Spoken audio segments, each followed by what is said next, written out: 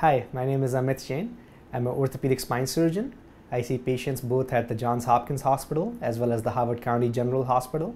I take care of both adults and children across the whole spectrum of spine disorders.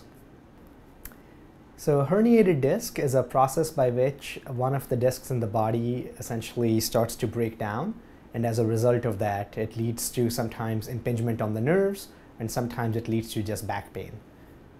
Patients typically experience uh, either back pain, leg pain, or some combination of the above. A typical uh, diagnosis requires an MRI scan. Uh, this is something that your primary care doctor can order, or you can come see us and then we can order for you.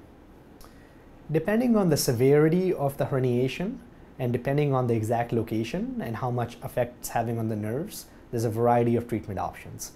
Starting from the most basic, the first option is a combination of physical therapy, pain medicine, kind of escalating that. Uh, there is options of injections like epidural injections that can help alleviate the pain and help cool the nerves down.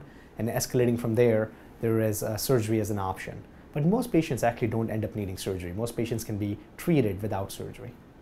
There are certain situations when surgery may be indicated for a herniated disc.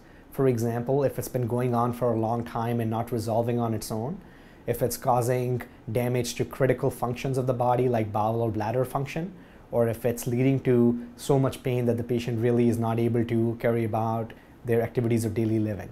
In those situations, surgery can be an option.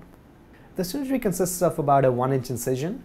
We go through the muscles and essentially get down to where the disc is causing pressure on the nerves. We relieve some of the pressure from the nerves by taking away some of the bone spurs, and then we pluck out the part of the disc that's causing pinching of the nerve itself. Most patients can go home the same day. Uh, it tends to be an outpatient surgery. Some patients need to stay overnight depending on how they're feeling and how they're doing.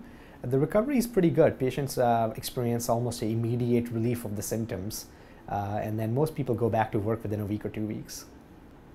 The long-term prognosis is pretty good. Uh, most patients end up not requiring additional surgery or additional treatment in the long term.